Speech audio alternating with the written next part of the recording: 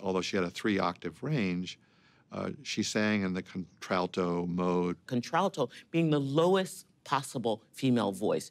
She could sing that to break your heart into a million pieces, but she also had a great top. She had a great high C, and her voice could live above the staff, meaning uh, in soprano territory.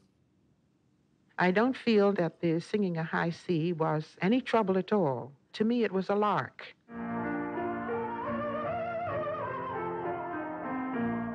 One did not confine herself to being either soprano or contralto or anything else, but one was billed as a contralto. In the operatic world, the sopranos always are the leading ladies. I've sung some of Marian Anderson's pieces, and they were out of my tessitura, meaning they were out of my range. And my voice is classified as a higher voice than hers.